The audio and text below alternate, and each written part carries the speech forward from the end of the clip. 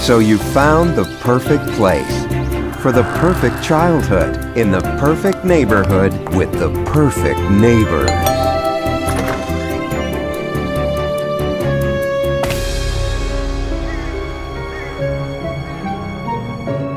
Who is that at the door, honey?